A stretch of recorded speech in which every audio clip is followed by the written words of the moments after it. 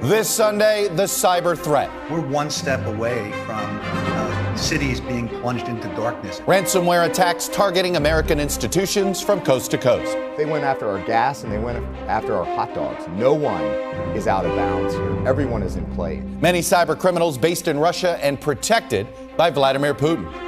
We cannot give any quarter, and no country should be harboring criminal actors of any type. How will the U.S. respond to this growing national security threat? Do you think Putin is testing you? My guest this morning Democratic Senator Mark Warner of Virginia and Republican Senator Roy Blunt of Missouri. Plus, rebuilding America. Inaction is unacceptable. Both parties still far apart on fixing the country's roads, bridges, and more. We need to make those investments today to be able to continue to succeed tomorrow. With no certainty that a deal will be struck. I don't know whether we're going to reach an agreement or not. What's the price tag? Who should pay? And could Democrats try going it alone?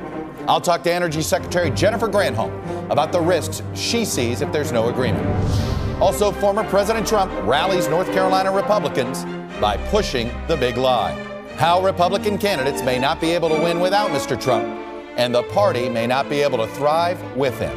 Joining me for insight and analysis are Anne Gearan, White House correspondent for The Washington Post, former hardball anchor on MSNBC, Chris Matthews, Kimberly Atkins Stohr, opinion writer for the Boston Globe, and Lanhee Chen, a fellow at Stanford University's Hoover Institution. Welcome to Sunday.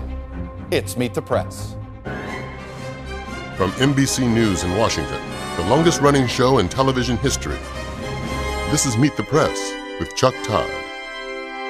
And a good Sunday morning. We are a nation under attack right now cyber attack. Last week, cyber criminals slowed food production here and abroad. Last month, hackers caused gas lines up and down the East Coast. And in between, there have been countless other unreported cases of ransomware attacks almost on a daily basis.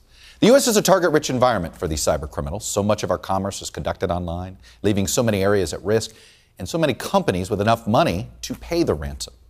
Many of those payments are being done in cryptocurrency, which is much harder to trace, another issue.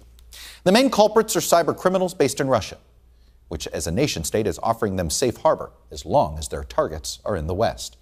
The problem has become so acute that officials tell NBC News the U.S. is considering offensive cyber operations against the criminals inside of Russia.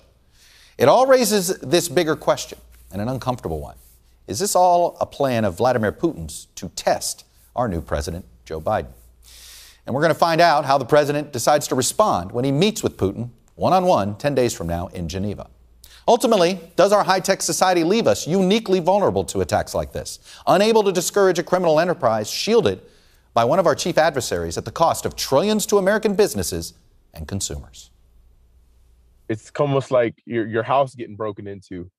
You know, there's a there's a sense of security that you lose. Last week, it was the world's largest beef supplier. A month ago, Colonial Pipeline, supplying roughly 45% of the East Coast fuel paid a $4.4 million ransom to Russian hackers in Bitcoin after they accessed its system with a compromised password. Our Justice Department has launched a new task force dedicated to prosecuting ransomware hackers to the full extent of the law. Ransomware attacks have become routine, hitting everything from groceries to gas, hospitals to transportation to local government. The largest public transit authority in the United States has fallen victim to a cyber attack. Headaches for the steamship authority continue today following a ransomware attack. UF Health is the target of a ransomware attack. The FBI confirms to NBC News it is investigating 100 different types of ransomware, each responsible for multiple attacks in the U.S., many originating from Russia. It's a challenge director Christopher Wray compares to 9 11. We're one step away from cities being plunged into darkness, and that is not fear and uncertainty.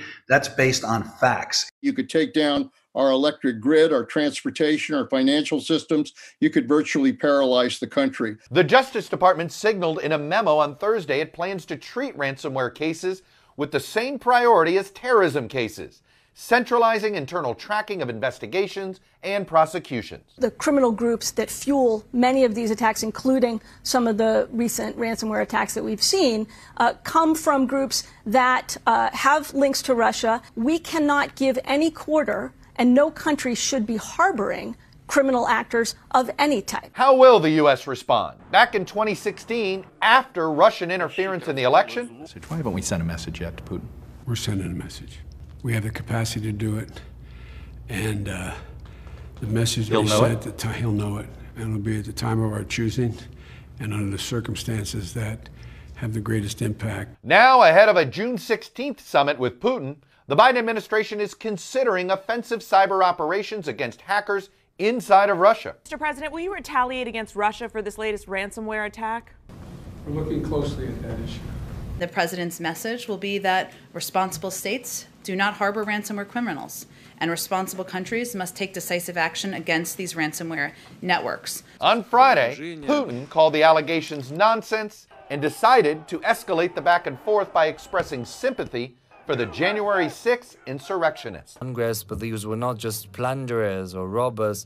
They came with political demands. And joining me now is Democratic Senator Mark Warner of Virginia. He's, of course, the chair of the Senate Intelligence Committee. Senator Warner, welcome back to Meet the Press. Uh, the FBI director, Christopher Wray, uh, in a Wall Street Journal interview, essentially invoked 9 11 in sort of how to deal with these asymmetrical groups, these cells. Well, we called them terrorist cells in 2001 and 2002. Are these cyber criminals terrorists? Well, Chuck, let's step back and look at this problem. We've been talking about cyber for a long time, but finally the American public is starting to wake up to the ramifications of these attacks. There's generally been two types of cyber incidents one where a nation state steals information, two where cyber criminals come in and threaten to shut down a system and demand ransomware. We've seen these individual attacks against pipeline companies, ferry companies, meatpacking companies. What I'm really worried about is if we saw the kind of massive across the system attack that took place last year, the SolarWinds attack, Mm-hmm. there Russians got into 18,000 different companies. If that attack had been an effort to shut down our system, our economy would have come to a halt the way when Russia attacked Ukraine. So I think we ought to do three things. One, we ought to put in place, and we've got bipartisan legislation to do this, to require that when companies get attacked, Yeah. they notify the government. There is no requirement right now. Second, we do need international norms so that when cyber groups out of Russia, because they're not just attacking us, they shut down the Irish healthcare system, we need international norms. And third, we need to have more transparency. There's going to be a debate about whether these companies should pay ransomware, but there ought to be more transparency if a company does pay so we can go after the bad guys. All right, you have pre answered a couple of questions I have, but I'm going to pick up on that last point. Should we make it illegal to pay ransoms? I mean, it's a simple, there's, there, many people think this is a simple solution, right? You don't pay the ransoms, the attacks will stop coming. Well, you know, I think that's a debate worth having. I'm not sure what the answer is at this point because the alternative, if you shut down a system, and in the case of Colonial Pipeline, we saw even after they paid the ransom, it took five days. But what we should make sure, as we have that debate, um, let's make sure if companies do pay, there is transparency to those payments. Last year, I worked on legislation that became law to tighten up our you know, illegal cash payments, the, the use of dummy corporations. America was frankly not even at international standards. We need more transparency because right now what's happening around ransomware, not only are the companies often not reporting Right. that they are attacked, but they're not reporting the ransomware payments. Look, I want to get to the ransomware uh, payment issue in a second, but I want to talk about you said you want to make it uh, basically illegal to not report a ransomware attack if you're a, a company based in the United States. Um, what about a step further where you mandate a minimum level of security? If you want to be a defense contractor, you have to prove your ability to handle classified information. You know this very well.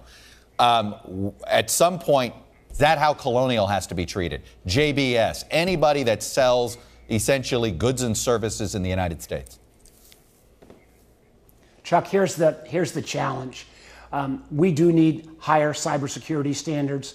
There ought to be penalties. I think many of us remember a few years back when Equifax uh, lost all our information. Right. In that case, it was to the Chinese. They were totally negligent. So there does need to be, uh, I believe, some level of liability for companies that don't hit these standards. But the truth is, when you've got a tier one adversary like Russia or China, not so much these cyber criminals, but a tier one adversary in terms of their spy services, it's tough to be 100% perfect all the time. That's why if we have a incident reporting requirement Yep. mid attack, and I give the company some limited liability protection, and that needs to come into the government, but also share with the private sector, Microsoft, Amazon, the crowd, uh, the cloud providers, Right. the other cybersecurity co- companies. We need to have a public-private response team to this, and that's going to require that mandatory reporting. Uh, look, there's another idea that's out there. Simply this in the Wall Street Journal ban cryptocurrency to fight ransomware. The fact of the matter is, without the ability of the anonymity of crypto, we would not have this intense situation now. Um, I, know how popular it is. There's like a rave going down in Miami this weekend um, for people wanting crypto. But crypto's popularity is its anonymity. And it seems as if why people like it is they get to hide where their money came from. Sounds like an illegal enterprise to me. Well, Chuck, I got a lot of questions about crypto. There's some good things coming out of distributed ledger technology, but we are seeing now some of the dark underbelly. The challenge is, and that's why I'm focusing more on transparency. The truth is, there are ways uh, that we can um, break through some of these systems. But if we don't have a trans, if a company is paying, if there's not some transparency to that payment, um, the bad guys will simply find another way to hide it. So uh, this is an area where, frankly, again, our country has been behind the international Yeah. norms. We got better on bipartisan legislation last year, but this debate about uh, crypto and ransomware is just starting. So that's why, in the All right. meantime, let's put in place this, these transparency requirements. All right, there's one other idea out there, and it's about going on more on the offensive against Russia for being a safe harbor and for doing what they did. But I want to show you something here. I hope you can see this graphic. These are all the different ways the United States has tried to confront Russian aggression. Going back to 2014, we've ejected them from the from the G7, right? It's not the G8 anymore. Plenty of sanctions. There have been import restrictions. We've expelled diplomats. We've seized their assets. We've had indictments. None of it has stopped his behavior. What, what would it take, do you think, to curtail Putin's behavior here? Well, two things, Chuck. One, I do think we need to have the ability to use some of our offensive capabilities, and we have done a better job on that. If we look at um, our ability to cut back on some of the uh, Russian election interference, that was because uh, we were willing to punch back. But what we also need, and this is why I see we need these level of international norms, so that a country like Russia would know if they are harboring cyber criminals and you're shutting down a healthcare system, for example, the way these cyber criminals did in Ireland recently, there needs to be international repercussions, not simply one off uh, the United States acting alone. That's why President Biden going and rallying the democracies at the G7 meeting is so important. Senator uh, Mark Warner, I'm going to have to leave it there, chair of the Senate Intel Committee. We will find out in about 10 days how well Biden's confrontation goes with Putin. Much appreciate it. Uh, but I want to continue this conversation on the other side of the aisle. Joining me now, he's the chair of the Senate Republican Policy Committee. It's Roy Blunt of Missouri. He's also a member of the Intelligence Committee. And let me pick up on holding Putin accountable, Senator Blunt. I go back, you saw here, and you know, there has been plenty of attempts.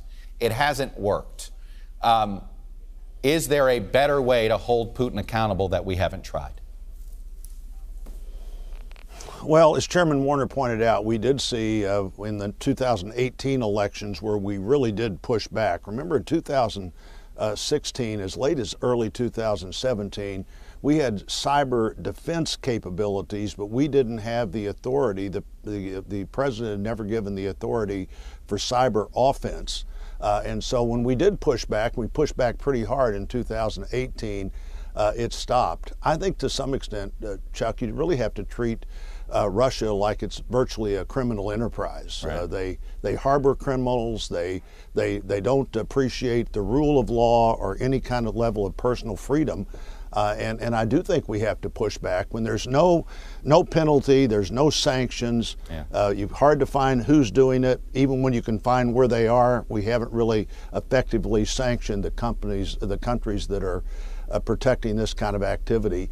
Uh, it has to stop. On one question you asked uh, uh, Chairman Warner, could we say that companies have to guarantee their system uh, to be a U.S. vendor or whatever the right. other guarantee might be? The truth is, we haven't we haven't been able to, to guarantee our own system. You know, on the SolarWinds, they got in the government system as well. We didn't know they were there. Right. We don't know how long they were there. We're not absolutely sure they're not there still. Uh, and so, you know, saying that companies would have to meet a standard we can't meet would be one thing. And let me make one other point. On, on the Colonial Pipeline, there was a very simple way in. They used an old uh, uh, account that was no longer even uh, a person who that, that account was not even part of the system anymore, but it wasn't taken out of the system.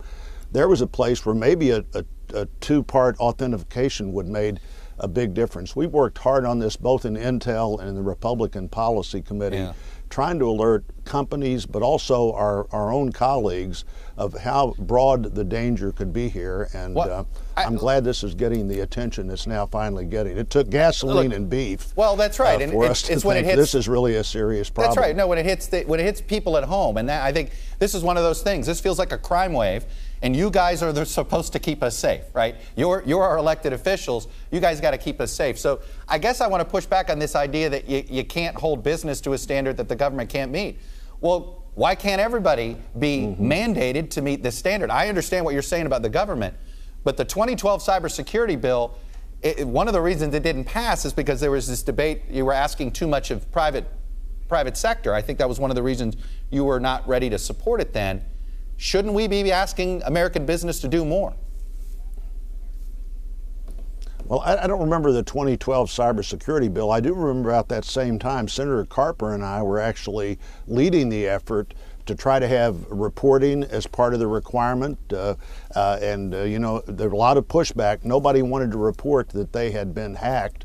Uh, that was a, a, fight we've been having now for almost a right. decade.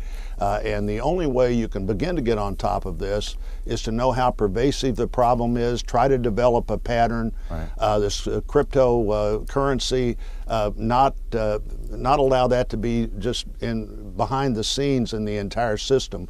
We have a lot of cash requirements in our country, but we haven't figured out in the country or in the world yeah. how to trace cryptocurrency. So one, fairly easy to do. People almost always pay the ransom. There are very few consequences, and you can't trace the the ransom where the ransom right. payment of choice now. And we've got to do a better job here. Oh, look, Vladimir Putin scoffed uh, at the charges that somehow he was behind these attacks, and then he went on to say something else over the weekend that was quite disturbing. He essentially praised the January 6th insurrectionists, or he seemed to say that um, it was nothing but a political dispute. Considering that Putin is now picking up on this as a way to divide this nation, does, does that make you reconsider your opposition to a January 6th commission? Because I, I know your argument against it right now. You think there's some bipartisan action happening. I get that. But you know we need as credible as of a review as we can to get on the same page as a country with facts. Don't you see the January 6th is doing that? Commission is doing that? You know, my yeah, my, my, my point from not just last month, but from the very moment this uh, commission idea came up, I never said, you know, I'd, be for it if it was more bipartisan. It was very non bipartisan in the first proposal. I never said that. What I said was, I think we know what we need to do here, and a commission, in my view, uh, an immediate commission, would slow us up in saying, well, we need to wait till we know all the facts. We need to wait for the commission. Uh, we will come up out with a bipartisan uh, two committee report uh, next week. The Rules Committee that I was the chairman of, now the ranking member, uh, Senator Klobuchar and I on that committee, Senator Portman and Senator Peters mm-hmm. on the other committee. We're going to have a, a, pretty extensive report on what happened, over a 100 page report uh, with a significant number of recommendations, in my view, all of which could be put in place immediately uh, and my sense was it more right. important to act and get and do what we know we need to do than to get uh, in a position where we start waiting uh, for a right. commission uh, to come forth with the report that we, I think, are going to be happy. I think you're going to be uh, really uh, pleased with the report you see, and we'll see then where we need to go next after that report's out. Well, I want to talk though, but I, I don't know if your report is going to deal with the root cause, right? The root cause is you have the leader of your party. You know, whether you whether everybody wants to acknowledge the former president as the leader of the Republican Party right now or not, he seems to be the, the biggest uh, the biggest fish in this pond now. He's had, as a chief of staff, was pushing the idea that Italy used military satellites to somehow rig the election, and, and he keeps doing this, and he did it last night in North Carolina. You're part of this group of Republicans that has stated that you don't believe in that nonsense, but you don't you don't really push back at the president for spreading these falsehoods so much. Are you not? Do, do you fear you're not doing enough? I mean, one in four people in your party believe these delusional things. Are you concerned about this? Well, I'm concerned we're losing faith in the election system. I do think it's important to have a, a bipartisan belief that the election system uh, does what it's supposed to do, that the results that are the results of election day are what absolutely uh, happened. You know, I served for eight years as the, as the chief election official uh, in my state. I was pleased to see uh, Senator Manchin have the same view that we need to move forward on election reforms mm-hmm. in a bipartisan way. Uh, I look forward to being a part of that. Uh, we'll see what happens with the John Lewis uh, Voting Rights Act and other issues I think we can deal with right. and deal with in a way that's less partisan than trying to create political advantage for either side. Do you think the president believes this stuff or is exploiting um, a, a chunk of your party into convincing them to believe it? You know, I, I really can't analyze whether he believes or not. I'm, I'm sure he believes that uh, in a fair election he couldn't have possibly uh, lost, and, and, of course he had the the ability to go to court and prove whether that election was fair or not. That the every the courts did not uh, accept those uh, those ideas, and so we move forward, yeah. uh, and we continue to move forward. I do think uh, President Trump is a incredibly popular figure in in, in our party, certainly in uh, a political figure in my state. I'd like to see him get focused on the 20- 22 elections, there are plenty of things for Republicans to be talking about. It, I, understand. Look, you're, the you're not the only process itself. Sorry, Senator. You're not the only senator or Republican that has said, "Hey, look, the guy's popular in, in the party, and, and there's only so much I." The implication is there's only so much I can say or so much I can do to push back. I, it, it, sounds almost like you're surrendering no, that's, to this that's nonsense. not. You know, I'm not. I'm, I'm not. I'm not running for office again. I'm not running for office again. So that's not my point. My point is he's popular and can be incredibly helpful in 2022 if he gets focused on 2022 and the differences in the two political parties. The the uh, the Biden agenda is an agenda that uh, Republicans are going to be talking about defining themselves okay. based on our differences on things like what is infrastructure. There are a lot of things to talk about. I think 2022 has great potential to be an important and uh, and good year for Republicans, okay. and I hope uh, President Trump uh, puts his energy in that effort. Senator Roy Blunt, uh, as you mentioned, you're not running for reelection in 2022, but you are a Republican senator from Missouri right now, and I appreciate you coming out and sharing your perspective with us, sir. Thank you. I am. Good to be with you. When we come back, John McCain warned years ago that cyber would be the key new battlefield of the 21st century. Turns out he was very right on this one. The panel is next. Welcome back. The panel is with us. Anne Gearan, White House correspondent for The Washington Post. Former hardball anchor on MSNBC, Chris Matthews. He's author of a new book, This Country My Life in Politics and History. Kimberly Atkins Stohr, senior opinion writer for the Boston Globe, and Lanhee Chen, a fellow at Stanford University's Hoover Institution. And I want to start with um, what I found interesting from both Warner and Blunt, which is they both seem to separate a bit more from Putin versus what we're dealing with with cyber, just as the White House seemed to be telling, uh, indicating they're ready to actually hold Putin more accountable. Where is the Biden White House on this? Do they want to treat this as a Putin problem or as a criminal problem? You know, we've really seen an evolution in the way the government writ large is approaching the the ransomware and cyber hacking uh, problems together. And I think from the White House perspective right now, uh, they are trying to do a little bit of the same thing that, that both senators were doing there and talk about this as a problem that is, uh, you know, larger than one country and, uh, and, and one individual national security relationship between the United States and Russia while at the same time making very clear that President Biden plans to raise uh, ransomware specifically and other kinds of, of cyber criminal activity that is housed in Russia with Putin when they meet uh, in Geneva. Uh, what they have not said is exactly how threatening the president plans to be or whether he will walk into that meeting saying, We are going to do X, Y, and Z if you don't cut this out. You know, Lanhee Chen, I know you, you were at the Hoover Institution. You've got a lot of people you walk the halls with that have spent a lot of time in the Defense uh, Department and in the State Department and understand these issues here. Uh, is there an effective tool against Putin right now in our in our toolbox that number one wouldn't punish Russian citizens, but actually could curtail Putin's behavior? Yeah, I, I, think it's very difficult to draw that distinction. I do think there's a few factors here. First of all, we can go after some of the infrastructure that facilitates uh, this criminal activity in Russia and, that would be targeted. That's something that our cyber command is capable of. Now, obviously, that runs into some international issues. Does it violate international norms, existing international rules? We'd have to get into that. But fundamentally, we have the capacity to disrupt some of this behavior. I think on Putin, it is important for us to continue to send a strong signal. By the way, the sanctions that were put in place by this administration and the previous administration, those are working. They are starting to take a bite out of long term economic growth in Russia. So that's the right course. We have to continue that regime. That sanctions regime is very important. But I do think it's important for the president as well to send a very strong signal to Putin that to the extent that he understands this activity is going on, which I think he certainly does, the United States will not tolerate it and will continue to put pressure on the Russian economy up to and including additional sanctions on the central bank as well as on elements of Putin's government. You know, Kimberly, this feels like one of these. Here we have this national security challenge. That's one of these challenges that actually impacts our data, suddenly is starting to impact our day to day lives. And I, and I equated it if, if you live in a city and there's a crime wave, you go to the mayor and the police commissioner, you're like, you do something about this. And that sort of was my feeling like, okay, guys, do something about this. But I get a sense that everybody is looking for the handcuffs and not the solution. I think that is right. And I think we are here uh, in part because of that tension that you talked about with both senators before.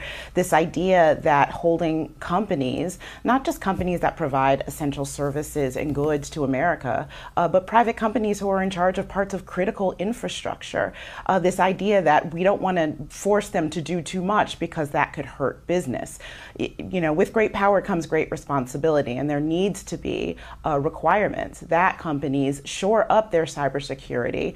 Uh, and the government needs to give them both help, but also impose uh, uh, requirements on them in order to do that while shoring up the federal government. You can do both at the same time, and we see how critical that need is. Chris, I know you've been doing some reporting on this. Uh, uh, what does what does an effective response look like from the United States against the Russians? Well, first of all, we have to play offense and defense, and the government's role is offense because only a government, our government under our system, is allowed to counterattack, to take any kind of forceful action against Moscow and its, uh, its ransomware allies in this case.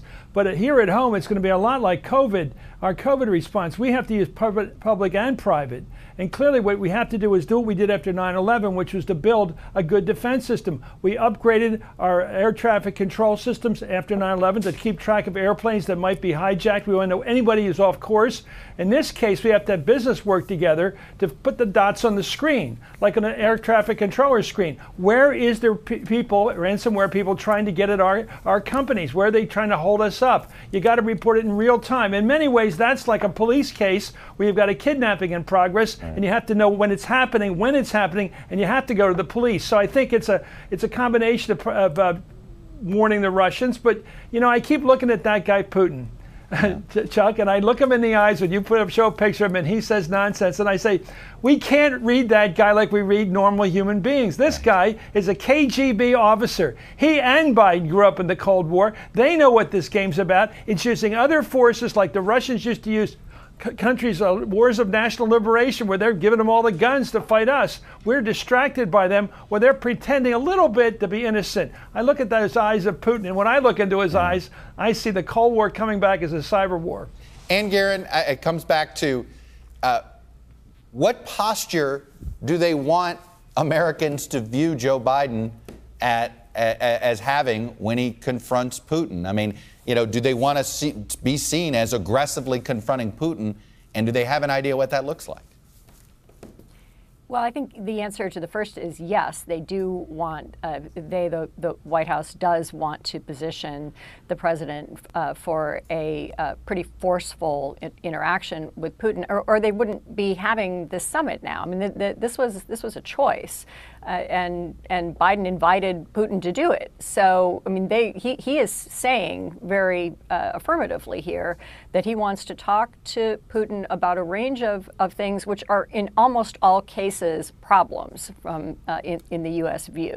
Uh, so, I mean, it's not going to be a pleasant meeting, I think. But you know, the the, the question very specifically on on Yeah. cyber is a really difficult one because these are not Russian government agents. They're people who live in Russia and are, uh, on, to a degree, under Russian protection. Well, I remember safe harbors in Afghanistan and Yemen and all of those things back right after 9 11. I wonder if we're going to start hearing conversations like that uh, in the next few weeks and months. I'm going to pause it right there when we come back as the two parties fight over rebuilding America.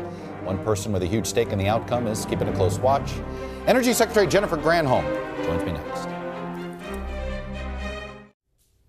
Welcome back. If you want an easy summary on where the Washington talks on infrastructure stand, try this. President Biden and Republicans can't agree on how much to spend, on where the money should come from, or even what is and isn't infrastructure. But other than that, things look great.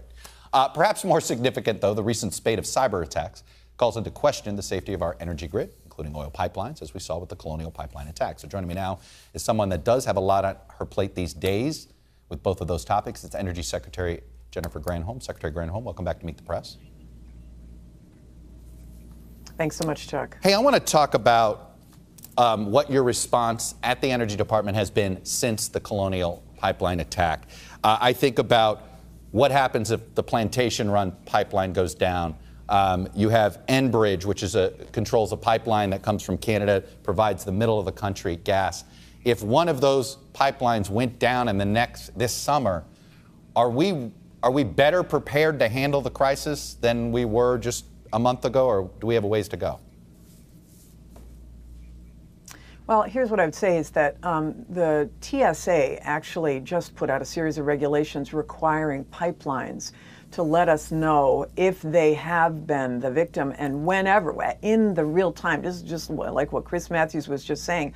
Where are these attacks happening? So that we know and we can coordinate with our intelligence community to determine not just how to respond uh, in the long term, but how to respond immediately. So, to that extent, yes, the president has issued this executive order that really focuses on what the federal government should be doing. But as you've noted, these are a lot of private sector entities that run uh, the grid, that run the pipelines. And so, one of the reasons why the American Jobs Plan is so important and so curious uh, Chuck, why the investment that the president proposed in transmission grids, which would not just increase capacity and increase resilience, but also address cyber, why that isn't a part of what the Republicans' counterproposal was. And hopefully it will be, but it's, it's a bit frustrating that it hasn't been. What kind of authority do you have right now that, you know, so you oversee the safety of our nuclear power plants. There's a certain level, and those are in some cases run by private companies. There's a certain level of security they have to meet that, that meets federal regulation. Is there anything, can you demand certain standards of Colonial and these other pipeline companies, or do you not have that authority at the Energy Department? Um, at the uh, right now, on pipelines, no. I mean, we have an agreement with the private sector on the transmission grid. There are basic standards, cyber standards that they adhere to, cyber standards that are developed by the Department of Commerce. And we need that same sort of regime with pipelines, and that does not exist at the moment. This notion of requiring them to report is mm-hmm. important. That's a first step, but we need to take the next step. They need to, we need to work together, and it's not just cyber on grid and pipeline. It's cyber for across the country. It is a huge issue, and everyone needs to wake up and up their game in terms of protecting themselves, but also in terms of telling the federal government if they are a target of attacks. Many of these private companies are, you know, don't want to let people know. They can't pay, they should not be paying uh, ransomware, but they should be letting us know so we can protect the rest of the country. So, do you think there should be a law in the books that bans the payment of, of ransom? I mean, you, you, may have to actually outlaw the ransom payments. Are you ready to go there? Yeah. Well, I mean, I would. I will say that, but I don't know that. I don't know whether Congress or the president is at that point. But I do think that we need to send this strong message that paying of ransomware only exacerbates and accelerates this problem. You are encouraging the bad actors when that happens. And I will say, you know, the president, to the conversation that you were just having, the right. president is really focused on the international uh, regime of this as well, working with our allies. Every country, no country wants to be the victim of major cyber attacks, of any right. cyber attacks. So, international, private sector, inside the federal government, all of us have to be. Uh, you know, the president is working on a 360 degree solution. Uh, you've been tapped to spend but a, a solution. There's not right. just one solution. I'll say you've that. been you've been tapped to help uh, build support for the for the uh, president's infrastructure proposal. Um, that took you to West Virginia this week. And when you hear the words West Virginia and Washington, it means Joe Manchin. Um, when, when we hear Joe Manchin say he's not, he is still thinks there's going to be bipartisan support, do you think his definition of bipartisanship is 10 Republican senators, or do you think it's Susan Collins and Lisa Murkowski? No, I think he really believes there there are votes for um, for infrastructure from at least ten Republicans, and he's got some data on this, which is, I mean, just in my world, in the world of energy, in 2020, in December, there was overwhelming bipartisan support for pieces of, of energy infrastructure that the president put into the American Jobs Plan, but that has not been part of the Republican counterproposal. For example, investment in the transmission grid or investment in nuclear energy, which Republicans have long supported and are not in the counterproposal, but was in the president's bill. Capping of oil and gas wells and coal mines, which could put a lot of people to work. Republicans have supported that. The president put it in his bill. They didn't come back with a uh, counter that included that. It's it's just curious. Or Chuck, the big thing. I mean, I'm just coming from West Virginia. It's a fossil fuel state. I, the week before, I was in Texas, another fossil mm-hmm. fuel state. Republicans and Democrats have asked for the technology and the pipelines to take carbon pollution out of mm-hmm. fossil fuel production and put it in the ground. It's called carbon capture. Right. The president put it in his in his plan. Republicans have been clamoring for it. It wasn't in their counterproposal. It's just curious. So the bottom line is he's got reason. He, meaning Joe Manchin, has reason to believe that there's bipartisan support. We just need to see it in the counterproposal. Um, you brought up climate, and I'm curious um, when it comes to getting the oil and gas industry to participate in, in, in helping to mitigate climate change. We've seen the Netherlands essentially use a court order to force Shell to do things. We've seen shareholders get some board seats on Exxon and Chevron. What do you believe is the most effective way to engage industry? You were a state attorney general. Would you have filed lawsuit, a lawsuit uh, in the state of Michigan against an oil company, or would you be pursuing the shareholder strategy? Well, or uh, I think that honestly, these companies are seeing where the globe is going. They are seeing that their biggest customers are demanding that they produce energy in a cleaner way. And so they want to see things like this solution of adding technology to remove CO2 from their production as part of the solution. So, uh, to me, the carrots that the president has put into his plan are really carrots that the private sector is asking for. Even the fossil fuel companies, I won't say all of them clearly, right. but a lot of them, the big oil companies have all, uh, not all, but many of them have re, have have the same goals of getting to net zero carbon emissions by 2050. They're not going to be able to do it without the technology that will allow them to remove CO2 from their production. But again, the president put it in his plan, and I think that's a way to go uh, optimism that the capital markets will uh, force the oil and gas industry to change. We shall see. Anyway, Energy Secretary uh, Jennifer Granholm, thanks for coming on and sharing your perspective with us. I appreciate it. When we come back, how our post pandemic world may look very different from the one we are used to. Stay with us.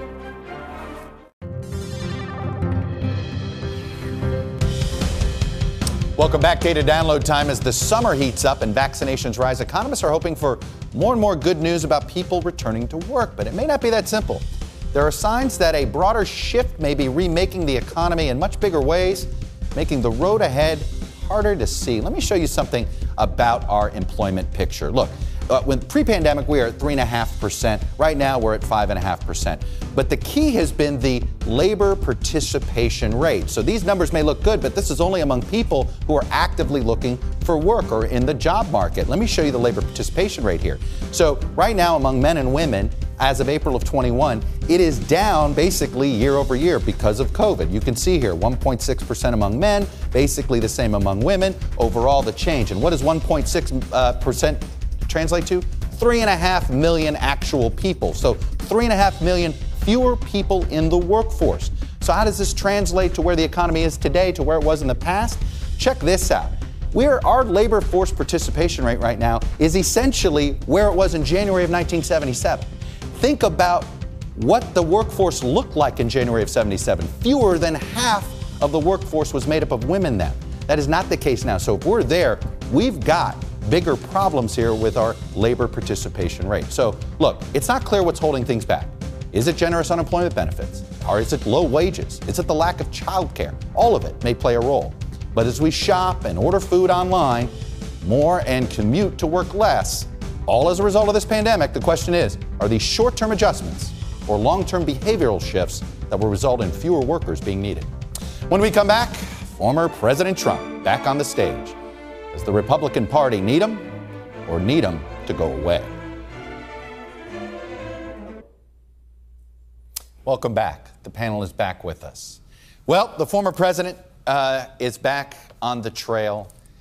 And Chris Matthews, you know, normal political science would say if you're a political party focused on the past and you're running against a political party running on the future, the future defeats the past.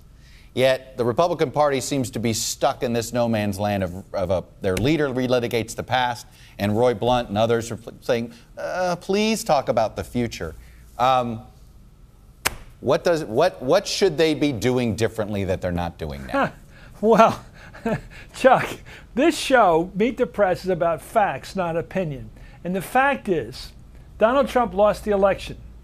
He lost it by 7 million people, 7 million votes. The last time he lost by 4 million votes. The Electoral College vote was the same as he got when he lost. Remember when he won last time, 302. The facts are there. Every, um, every political phenomenon I've ever followed since I was a kid was somebody wins, somebody loses. But the loser, and this is the deal we never thought would ever happen, the, the loser has to say, I lost. Just like in tag, you got me. I'm it, you're it, whatever, you're out, you're out. You know, it's a strike. I'm sorry. We live on the basic facts of life. Somebody wins, somebody. The concession speech is maybe the best thing in politics because it's when the losers say, damn it, I lost. Right. Hillary Clinton did it, Mitt Romney did it, John McCain, John Kerry, Al Gore. We've watched it every four years. Honest people honestly accept facts. Right. This president, this former president, I should say, is not honest. And therefore, he's ta- taking the cheap route so that all his followers will say, yeah, he won. They know he didn't win. Lanhee, I was intrigued by Ross Douthat's piece today in the Times because he basically talked about the three different ways that different factions are trying to check Trump. Um, what do you think is the best way to check Trump? Because sadly, more people now believe this nonsense than they did actually three months ago. That's a problem inside the information ecosystem in the right wing. Yeah, I, I, think the focus has to be on how you build a movement that's durable going forward, and that's not by focusing on the remarks or the thoughts of one person. And, and, and, I do think, you know, look, there are a lot of different ways to do this. You could talk about the policy contrast going into 2022. You could talk about the ways in which you build upon various groups, for example, the Hispanic vote that seemed to improve for Republicans in 2020. Or you can talk about whether there are various figures preparing to run in 2024 who are not Donald Trump. There's all sorts of ways to do this, but fundamentally, it's got to be a practice of addition by addition, not addition by subtraction. The notion that you got to cut people out of the party because they don't agree with Donald Trump. That to me is the wrong way for the party to succeed Yeah. and to be more popular and to garner more support in the long run. All right, Kimberly. Then, uh, how, how do you kick how do you kick Trump out without his people? Right? Is that the is that the problem? Is that the devil's bargain here? Well, I I don't think that that's the issue here. I think the, the what Lanhee pointed out was a decision that Republicans had to make after the election in November, and they chose not to. I don't think this is an idea of a party being held hostage by someone. I think it's a party that has adopted the views of that person.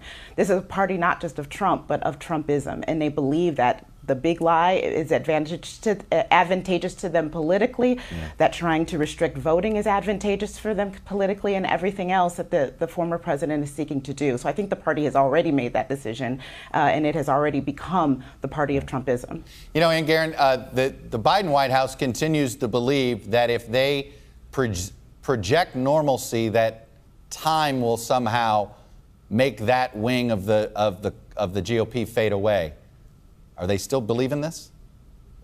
Um, I think so, Chuck. I, I certainly, uh, we had an example this week where the press secretary Jen Psaki was asked about Trump being uh, suspended from Facebook for, for two years, and did she think that was a good idea? And that's a, you know, that was a, a, a sweet pitch. She could have just knocked that out of the park and gone to town, and she didn't. She basically just said, he's not our problem. We're, we're focused on other things. It goes to Biden's basic view that he has to show the work uh, and that the, the only way to, to get Democrats elected in 2022 and for him to Right. be reelected is for them to, you know, do stuff, not talk about the past. Hey, Chris, you and I are going to talk more extensively on a podcast later this month, but I'm curious, um, being uh, this past year, what have you learned? What have you reflected on? Well, you know, when you're not on the air every week or every night, you do sort of get a little distance. Like when I was in the Peace Corps, and I would keep up with events by reading Atlantic Magazine. So, I mean, you do see the pattern. And you know what happened the other day with General uh, General Flynn saying we ought to have or should have a, a military coup? Isn't such a big jump from the election was so, stolen from me. We don't have a legitimate government. Two thirds of, of a Republican Party saying the election wasn't fair. It's not a big jump to say, okay, that's not a legitimate government. We can overthrow it. But just remember, all these people, men and women who've served in our military, for all the way up, swore an oath to the Constitution. Yeah. Let's not forget, they swore an oath just like Donald Trump did. Don't forget his book, uh, uh, right there, Chris Matthews, This Country My Life in Politics and History. Uh, thank you all for watching today. And remember, if it's Sunday, it's Meet the Press.